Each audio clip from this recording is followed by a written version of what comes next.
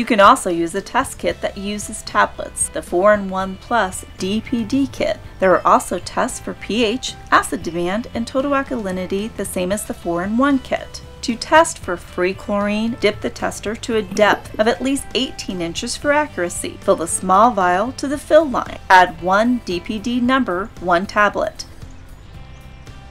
Place the cap on the vial and shake vigorously to dissolve the tablet.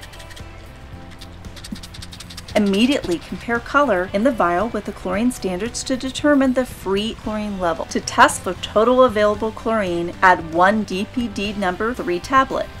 Place the cap on the vials and shake vigorously.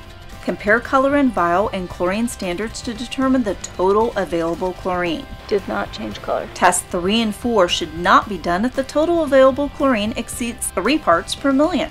The difference between free chlorine and total available chlorine will give you the combined chlorine level. The combined chlorine level in the pool should never be above 0.5 parts per million. It can cause smelly, cloudy water and itchy rashes. The only way to treat combined chlorine is to shock your pool. Possible products. Simple and easy. Recyclable, reusable, and returnable convenient 4-in-1 case. Hasa, now available in